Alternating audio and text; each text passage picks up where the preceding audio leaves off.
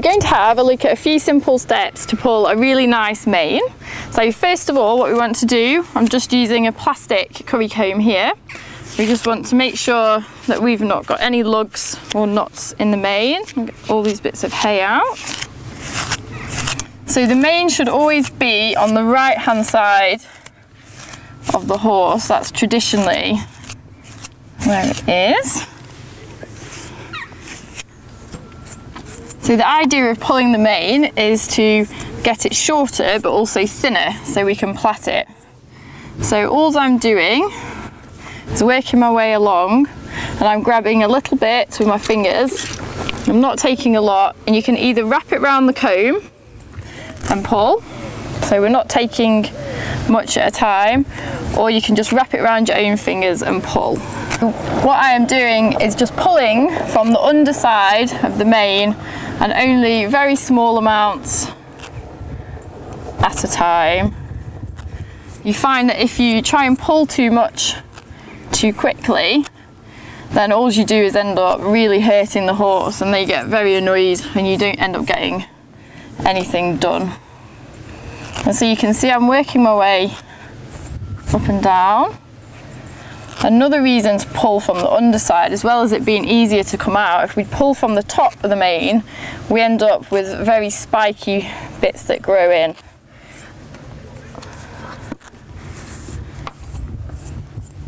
So when I'm doing this with a youngster or a horse that has a very long or thick mane, I probably wouldn't do very much for the first few days. I would do it in a couple of stages. So you can see that all this scurf is, is coming up, but that's perfectly normal.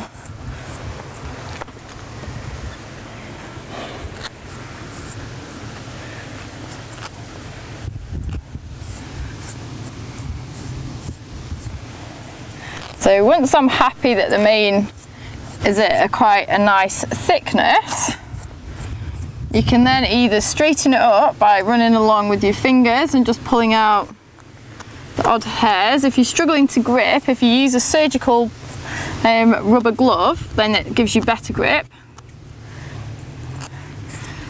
Or alternatively, you can you can run along the bottom with some thinning scissors. So these are different to normal scissors because they have the forked, the fork bit, so they don't cut in a straight line. What they do is cut in a slight edge. And by doing that, we can just take all the little straggly bits without looking like we're making a very straight, straight line.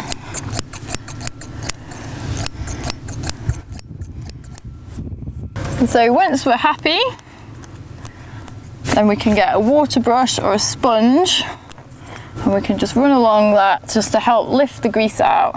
Ideally, you would like to give it a wash once you've pulled it, but if you're going to plait it, then I definitely wouldn't wash it because otherwise it makes it a lot harder to actually grip and get nice neat plaits in.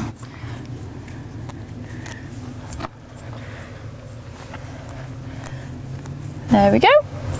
And that's how to pull a mane.